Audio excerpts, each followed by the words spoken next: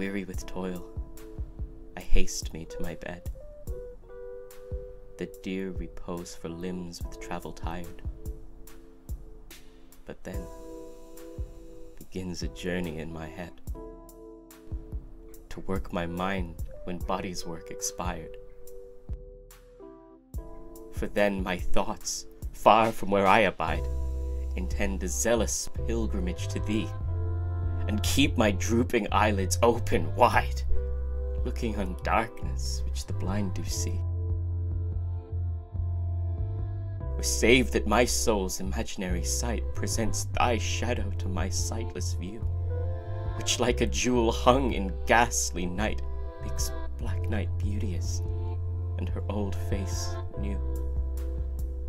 Lo, thus, by day my limbs, by night my mind, for thee and for myself, no quiet find.